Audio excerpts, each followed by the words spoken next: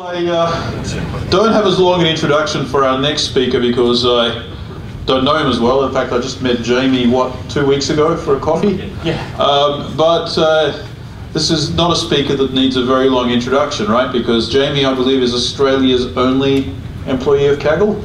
Is that, would that be correct, Jamie? Uh, one of a few, but Here in Australia now. Oh, here in Australia now. So if Jamie's the, well, Kaggle, as many of you know, is originally an Australian company. Anthony Goldbloom is originally from Sydney.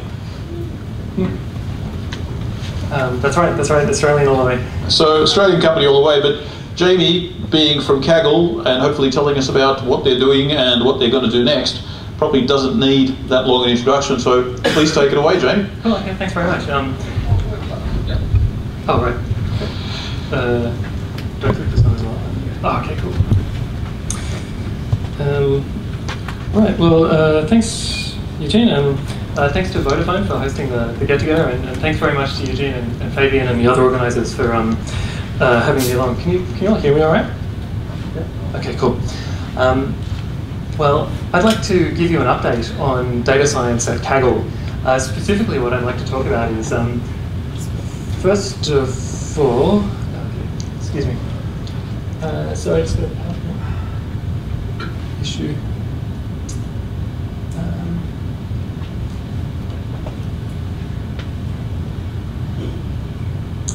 Try that again.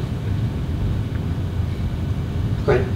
Sorry about that. Um, specifically, what I'd like to talk about is, first of all, to pass on some of the insights that we've learned about data science in general from running hundreds and hundreds and hundreds of machine learning competitions over the years. Uh, secondly, I'll take a brief look at uh, some lessons that I learned personally from a brief detour through in-house consulting on data science. Uh, and then I'll wrap up by giving you a preview of the data science products that we're working on now. Um, the prototypes are, are live, and, and, I'll try to give you a little uh, live demo. If you're not that familiar with Kaggle, first of all, a brief intro to who we are. What we do is, uh, primarily we run data science competitions. So if you go to kaggle.com at any given time, typically you'll see half a dozen prize competitions uh, at the top of the front page there, all running if you scroll further down, there are usually another half dozen research competitions, getting started things, public data sets. Um, so our clients come to us with challenging problems that they'd like insights to, and we release those problems to our community of currently 390,000 odd data scientists across the world. The way that that works uh, is in just a sort of a, a stylized, simple example uh, in concrete terms, let's say, for example, that you're trying to predict the sale price of a home, given a few variables uh, about each individual home. What we do is uh, we split it into a training and a test set, very similar to the cross-validation style that, that, Daniel was uh, describing earlier tonight. The, the difference with a, with a competition setup uh, is that we release all of this except for the target variable on the test set. We release all of that to our competitors. Um, so they take that data set and do whatever they want with it uh, to fit any kind of model using any techniques. Uh, they make predictions for those missing values um, by submitting them to our website. We know what the actual values are for those hidden numbers, so we can check how well they did. Uh, and when checking those numbers, we split them in turn uh, into two sets, which we call the public leaderboard and the private leaderboard. So the error score on the public leaderboard gets shown to a participant straight away. Um, and so as soon as you submit a model, within a few seconds you can start to get bragging rights about how well it did and, and that sort of thing. The competitions run for typically a couple of months. Nobody sees the private leaderboard until the very end of the competition when everything's closed, at which point whoever is at the top of the private leaderboard wins the competition and the prize and, and the honor and glory. So that's how it works. We've done these a lot. Uh, and when you do it a lot, certain general patterns start to emerge, which are kind of useful, I think, for doing data science in general, um, outside of this somewhat artificial competition setting. Um, so I'll just take you through a few of those now. The first one is that just having a leaderboard itself uh, is kind of, uh, it's a powerful mechanism um, to motivate people and to really get some, some interesting work happening we really like using this leaderboard structure, first of all, because uh, it's objective and meritocratic. So no matter how much hype there is about a particular technique, if it doesn't get you to the top of the leaderboard, then it's not useful. So it's nice to see all of that kind of stuff get boiled down to something objective. Secondly, these leaderboards encourage uh, leapfrogging behavior, uh, known as the Roger Bannister effect. Um, as you may know, before Roger Bannister ran the four minute mile, many people believed it was physically impossible for the human body to run that fast. But in the 12 months after he did it, three other people did it, uh, and I believe beat his time. So there's something, knowing that it's possible to do that well, uh, there's something very psychologically powerful about, about that in terms of uh, encouraging your own performance. And finally, uh, this kind of structure encourages people to do many iterations uh, and to work very hard on these problems. Um, as you can see here, people submit literally hundreds of attempts trying out different ideas until they settle on the one that they like the best. As a result, typical competitions get results that look something like this. Uh, so on the x-axis here we have the weeks of uh, two months or so um, for how long this competition ran. And in the early weeks, you get some big insights and big improvements uh, on the leaderboard, with the lead changing hand of, hands a few times. But this is where people have very clever insights into the data, some clever pieces of feature engineering to really like get stuck into it. Over the following weeks, you tend to get more and more incremental improvements. And so in these stages of the competition, people are kind of grinding out successive improvements, tuning hyperparameters, squeezing as much as they possibly can out of the data set that they've been given. Um, until finally the competition ends, and usually by a tiny margin, somebody's declared the winner. So this pattern is very typical across uh, all of the competitions we run. We run. It's, it's very usual to see large, chunky insights um, happening kind of quite quickly after the data is released, um, and then that kind of grinding phase towards the end. But on, on this projector and with these lights, you may not see, there are still some outliers um, where more complex, more difficult problems can take a while to crack um, before they kind of end up at the top. So that's why we think competitions are great and, and you know, why they're a nice way to think about data science. Uh, they're not perfect though, and they do have some weak points uh, that we've kind of learnt and experienced over the years. Um, the first is that because of that grinding phase at the end of a typical competition, often the number one winner uh, is a massive ensemble, um, you know, a very complex model. Um, often that's exactly what the client is looking for, like just the most accurate model. But it's not unusual to see that clients, what they actually want is insight. Um, in a similar vein, there are no constraints over how competitors attack these problems, and with a two months time span, you could in theory spend two months uh, training a single model, and so actually putting this stuff into production may not match the constraints that the client happens to have. So for those two reasons, it's not unusual actually to see clients put into production the second or third uh, person on the leaderboard, who's also in the money, by the way. But um, but for, for, those reasons, because the the simpler, generalizable insights um, often end up coming coming second or third. Um, some some more.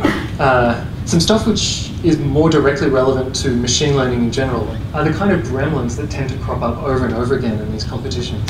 Um, and in fact, uh, our CTO, Ben Hamner, has a YouTube uh, clip, uh, a conference talk just called Machine Learning Gremlins, which is really worth watching in its entirety if you have a chance. Um, but just the, the kind of headline results uh, are kind of interesting, I think. First of all, the, the main problem that we face, the one that we wrestle with every week and that haunts our nightmares is data leakage. So what we're talking about is particular parts of the data, particular features, containing information that let you learn things that you're not supposed to. Um, this is something that we wrestle with all the time. It's a very, very subtle problem to deal with and something that you face if you do data science on your own or, or in production or whatever. Our favorite example of this comes from the early days of Kaggle. Coincidentally, um, it, it's, a, it's another prostate example, like, uh, like Daniel was talking about. But um, in, in this case, it was a competition for a health foundation to improve the accuracy of prostate cancer diagnosis, like you know, out in the real world, uh, by fitting machine learning models to a large data set of demographic and health information about particular patients. You had to predict whether people were going to get prostate cancer. And uh, Anther, our founder who was, um, who was setting this up, uh, just before he launched, kind of as a last sanity check, he took all of these variables that the client had provided, dumped them into a random forest, and just kind of pressed play to see how it went. To his shock, it scored something like 96% accuracy on the private leaderboard, the, the holdout set. So I started to think, am I going to get a Nobel Prize in medicine? I mean, this is amazing. Like the, the accuracy of prostate cancer diagnosis from trained doctors is nowhere near that good, right? Then he looked a bit closer and realized that one of these dozens of variables uh, is, is this one called ProstSurge. And in the data dictionary it explained, it's one if the patient had surgery for prostate cancer. so yeah, the, the, Nobel Prize, not this time, but at least it was an interesting insight into, into data science and what can go wrong. So that's a, that's a classic example of data leakage. Um, our most embarrassing screw up along these lines uh, with a competition that actually launched was years ago uh, for a Wikipedia challenge. Wikipedia wanted people to predict uh, whether or not their editors would, as it's called, churn, that is, give up and do something else, or whether they would stick with Wikipedia and keep going. Um, this isn't strictly data leakage, but it's a related problem. Um, in the data set that they put together for us, churners and non-churners were you know, nicely mixed together as you'd expect, but after the competition launched, it emerged that the churners were on the odd rows of the data set and the non-churners were on the even rows. Uh, so the leading entry in the competition was perfect. I mean, can't fault that. Um, the competition itself was a debacle. It was a terrible learning experience, and so consequently, we're, um, we've learned many more things since then. We bombard these data sets with, with checks, with, with every possible thing we can think of to try to detect this kind of data leakage. Um, still, it bubbles up as a recurring problem, um, and it's something that, that uh, anybody who does data science has to face. I guess the general lesson is to try to be paranoid about, excuse the white on, the white on um, green there. The lesson is to try as much as you can to be paranoid about the cross-validations that you set up and the holdout tests, the, the, the, holdout sets that you use. If you want to know more about what that means in practice, um, uh, Kaggle's blog this week has an interview with the chief scientist of Climate Corporation. Uh, he talks in, in some detail about how they do this at Climate Corp, and it, it's, it's really worth reading. Um, uh, from our side, what we found is the most effective way to find out about data leakage or about any problems at all with the data set that you're looking at uh, is to release it as a public data mining competition and have thousands of people try to tell you where you screwed up.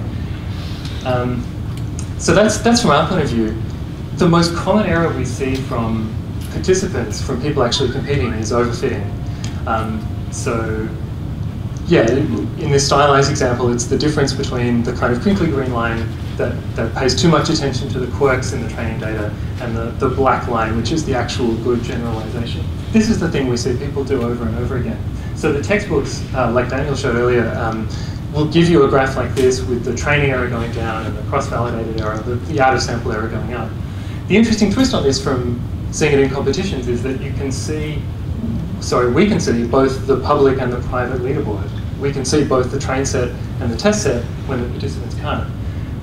If you plot one against the other for a typical competition, it, it usually looks something like this, where they're pretty well correlated across most of the leaderboard, except towards the top, which uh, on this lower is better graph, uh, the top of the leaderboard is down the bottom left there. Um, there, the public score, excuse me, the public score and the private score are pretty much un uncorrelated. The reason for that is that getting that instant feedback with your position on the public leaderboard, it's a powerful motivator to the extent that people actually consciously or unconsciously try to maximize their position on the public leaderboard, forgetting about cross-validation and, and, and, forgetting about this, this generalization problem.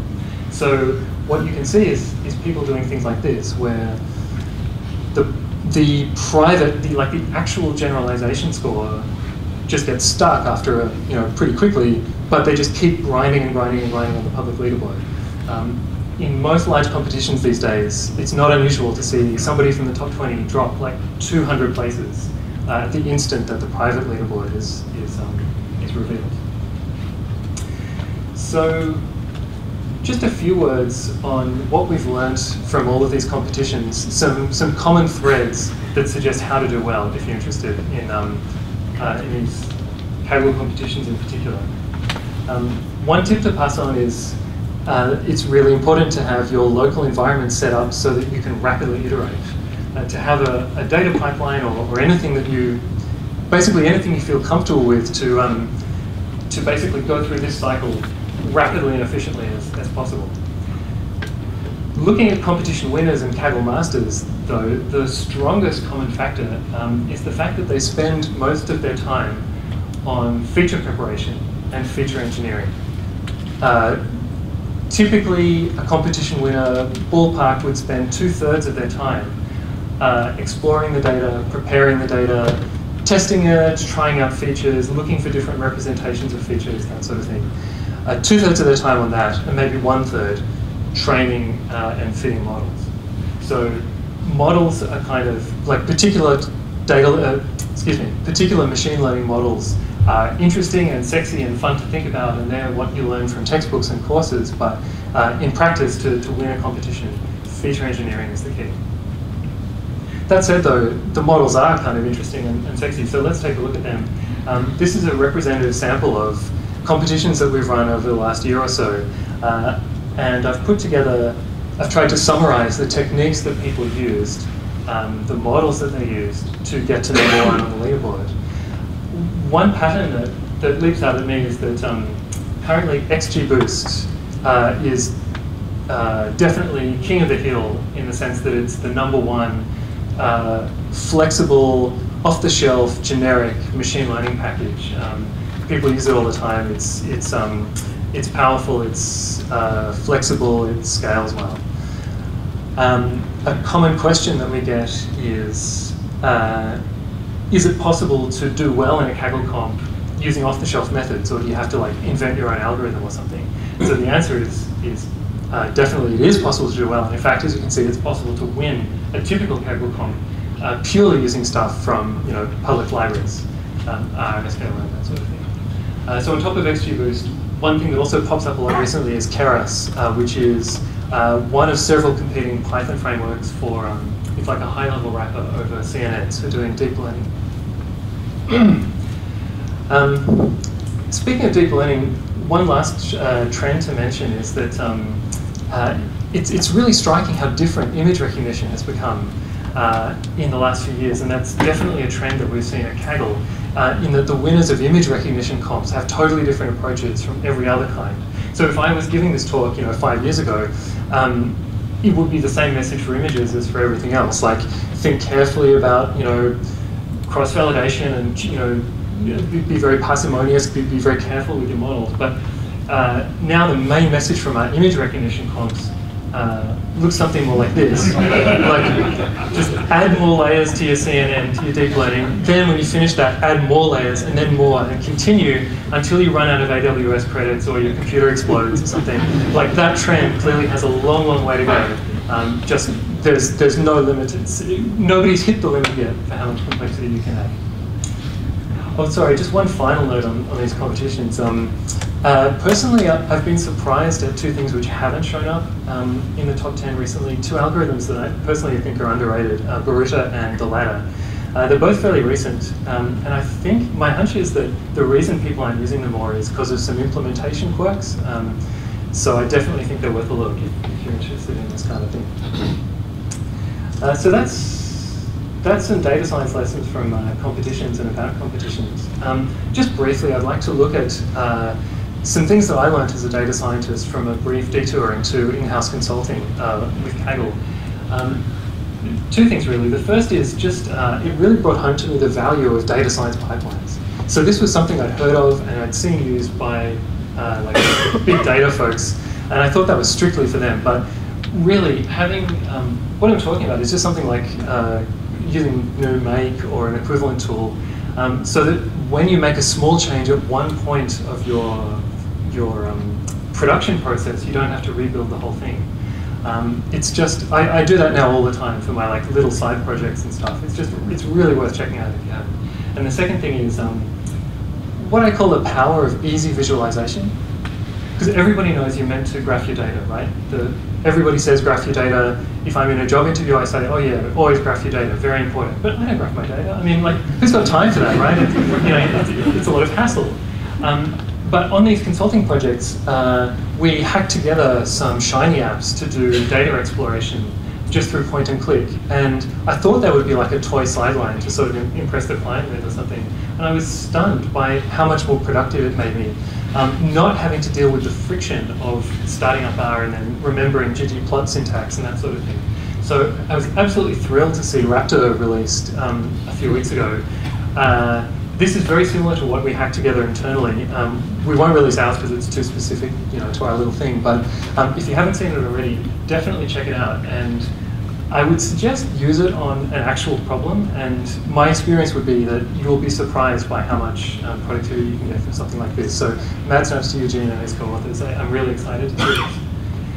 Um, so that's, uh, that's it for data science lessons. Um, just a quick preview of, of what we're doing now though, which is um, uh, after this sort of brief detour through, through in-house consulting, um, what we realized is that there's no place that we think of as like GitHub for data science. Um, that's where we're building towards, uh, to be a place where data scientists can share work, can fork off each other's work, see what each other are doing, and built on top of uh, open source tools, principally Docker, but also you know all the rest, um, actually execute uh, and reproduce the data science work that they're doing.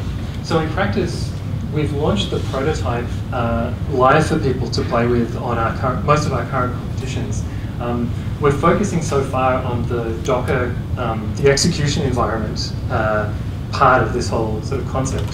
What that means is, um, if you haven't seen Docker, it's like a super lightweight VM. So usually with a virtual machine, you know, you have to start it and then go and get a coffee, you know, while it boots up and that sort of thing. Docker is so lightweight that it literally takes milliseconds to start up and, and, and tear down. So for data science in particular, it means you can have a snapshot of your data science environment set up exactly how you like it, with all of the libraries loaded, perfectly, everything ready to go, and then with a, with one single command, like run a regression on this new data that you've that you've come in, uh, that you've that you've got. So uh, I'll just quickly let's hope this internet connection is working. Um, if you go to kaggle.com slash scripts right now, you'll see uh, a list of all of the scripts that uh, Kaggle, um, that, that Kagglers have made already on the, the competitions and public data sets that we've been hosting. Um, and if you go into any of them, uh, excuse the slow connection there, um, that'll, um, if you click through any of them, you'll see the code that people are using. People are sharing visualization techniques, model fitting techniques, data exploration, um, very general things, very specific things. Um, and so in this case, this is a Python script um, showing how to do a sort of simple beat the benchmark thing on one of the current competitions. Uh, if you fork somebody else's script, then that takes you into an editor where you can then immediately start to execute this code and play around with it um, actually executing live in Docker containers out in the cloud. So, uh, sorry, my connection's a bit dodgy there, but um, please do jump right in and, and have a look at this. Um, have a play with it and, and, tell us what you think. We've just launched, um, we've just included uh, IPython notebooks into the list of things that you can use these things on, as well as R, Julia, SQLite. Um, so there's a fair few options to play with, and um, yeah, please uh, please have a look at it and, and see what you think. Um, that pretty much covers what I wanted to talk about. So um, thanks very much. Please check out kaggle.com slash scripts and uh, yeah, see you around and, and, we might have time for questions. Yeah. Absolutely. Come on, folks. Let's have them over there, Patrick first. Right. Uh, yeah, thanks for that uh, uh, great presentation. Just um, just something that uh, occurs to me sometimes when I'm having a look on Kaggle. Do you get sort of the opposite of what you've talked about there? Someone who's just submitted, they've tried out like a one-off model, and then they accidentally win the competition on the private leaderboard. Uh, has that ever happened where people have jumped up the other way because somehow weirdly it's fitted to the the privately held data and not the public data? Is, is that a thing? Um, yeah. Sorry? The restaurant competition. Oh, really? Okay. Yeah. I missed that one. Yeah, I, I don't have a good example, but um, is that Tab Foods? The, Yeah, it jumped over, I think, uh, 300 uh, spots. Oh, okay. That's pretty good. That's So, very there you go, good. Tab Foods. Cool. Thanks.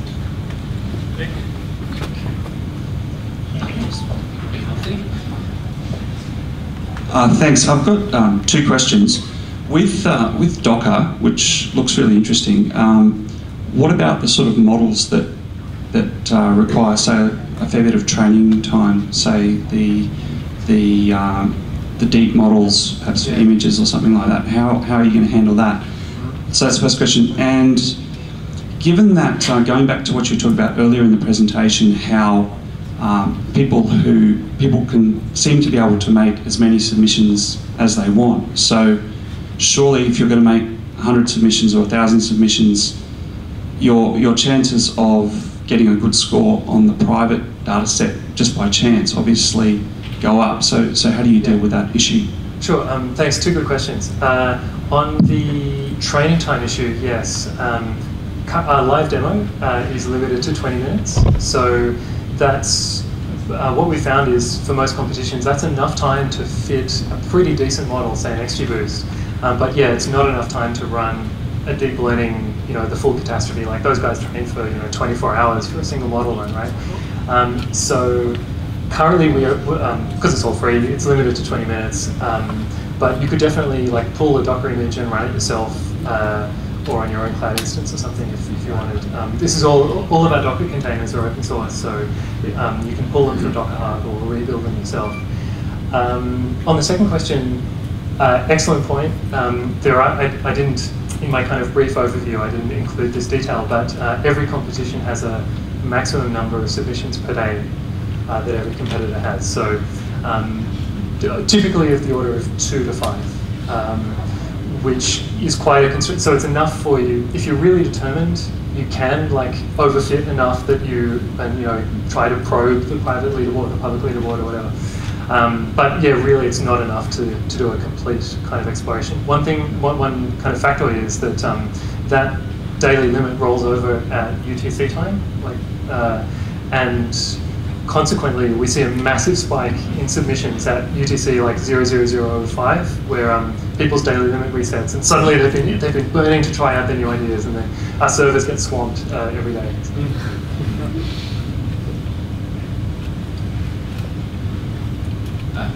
Jamie, um, I have to play for a second uh, devil's advocate.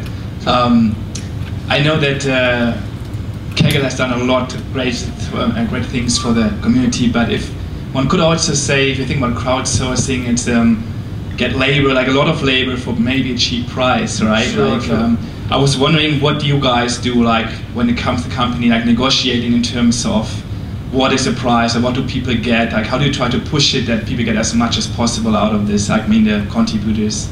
Sure, sure, thanks. Um, yeah, that, that's a good point, and it's it's something. Uh, the idea that we're making people work a lot for free essentially is something that strikes a lot of people when they first see Kaggle or first hear about the concept. And what I think you learn when you start competing and start taking part in this is that, um, uh, firstly, you get a lot out of Kaggle just by hanging around. Um, and so the Kaggle forums and now scripts, people share a lot of ideas and you really, you can develop very rapidly as a data scientist uh, without kind of the prize money even being relevant. Um, and the second thing is that uh, just your, in a way, the kind of um, yeah, sort of people's labor versus compensation and stuff. Um, I, guess the second point is that a lot of it is quite fun. You know, people do this kind of thing for fun.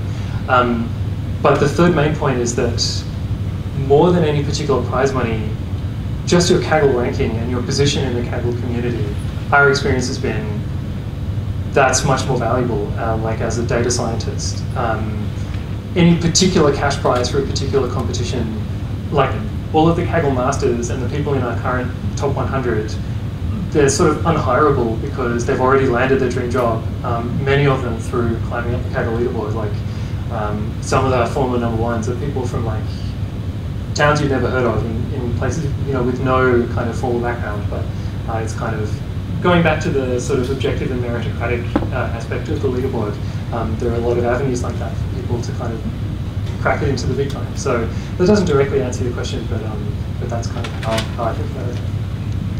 Last question. Okay, so quick question here. Sure. How can you use a leaderboard or can you use historical pri- uh, prizes to judge complexities of classes of problems? Like, have you got any insight as to how you can judge? Like, you're always given a problem and you're never quite sure how complex it is at the outset. Have you guys got any insight from your platform as to how to judge the complexity of a given problem? Um, that's a really good question. Um, yeah, I'll have to think about that some more. Nothing I can give you a nutshell answer to. Um, yeah, uh, so I guess we tend to get problems of all different types. Uh, so we have like image recognition, MRIs, basic classifications, CTRs, click-through rates, um, you know, recommendations. Uh, it seems to us like a very broad array of problems. As to which is kind of more complex or more suited to comps, uh, I'm not sure off the top of my head, but, but it's a really good question. All right, can you all join me in thanking Jamie for his Okay, it won't take too long of your time, but 10th House, I head up the analytics team there, analytic recruitment team. A lot of you know me, I've been involved coming along to data science for the last three years. I thought it was about time to put back. So yes, we are sponsoring, so hopefully the video over the next week or so will be up of tonight's presentations. And then further on, they'll all be up there to go and look at if you can't attend the, the evenings, which is, which is great. Also, hopefully, we'll have pizza next time. So we'll sort that out as well. But from my side, 10th House, we basically, on the analytics side, look after all analytics roles. We go across a range of different marketplaces um, and BI, data science, uh, into the digital marketplace. Basically here to be of any help to the data science members. If anyone's got any questions around recruitment, it's always difficult, or if anyone's looking to hire people, I'm here to speak to. Thank you.